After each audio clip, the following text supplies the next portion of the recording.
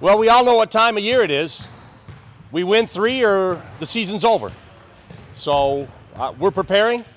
I uh, wish we were a little bit more healthy. We've got guys that aren't practicing. That's always a concern. Nathan's not practicing.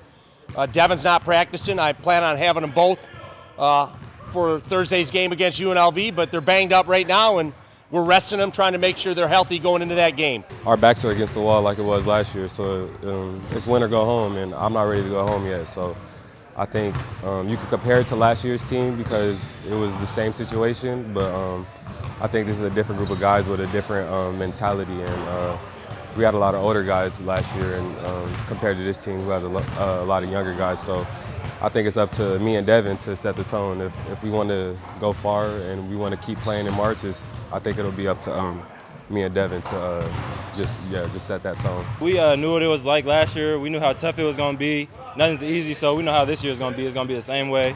We got to go out there and just play hard, compete. A few of us been through it last year, so we know what it's like. So teach the young guys what it's like. Uh, and you know we're prepared, so I feel like we have a great chance. I've been in this situation before, being a fourth seed or fifth seed, so um, I like I like being doubted. I like being the underdog in the tournament. So I think I think we'll be we'll be ready. I think the coach will have us well prepared, and I think it just comes down to just just who plays harder. And I think if we do that, we'll we'll have a good chance of winning it. The thing I like about the four-five game is that it's 2:30 in the afternoon.